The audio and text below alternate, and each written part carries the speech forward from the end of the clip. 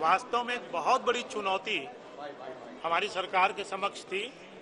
लगभग लगभग अगर हम देखें तो अट्ठारह हज़ार करोड़ रुपए एडिशनल जनरेट करना ये एक बहुत बड़ी चुनौती हमारी सरकार के सामने थी। और उस चुनौती को स्वीकार करके मोदी गारंटी 2023 को हमने पूरा करने की योजना बना के काम चालू कर दिया।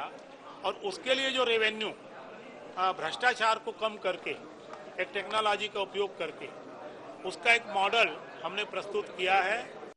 और ये वास्तव में किसी भी सरकार की वित्तीय स्थिति पहले से खराब थी, उस बीच में चुनौतीपूर्ण जो काम किया, निश्चित रूप से ये प्रदेश को आगे ले जाने वाला बजट है। और ये तो पहला साल है।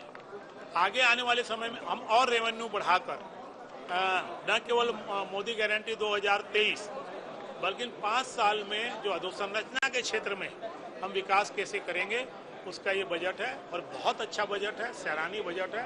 मैं धन्यवाद देना चाहूँगा हमारे प्रदेश के मुख्यमंत्री जी का, वित्त मंत्री जी का, जिनकी सोच से एक बहुत अच्छा बजट आज ये प्रस्तुत हुआ। Thank you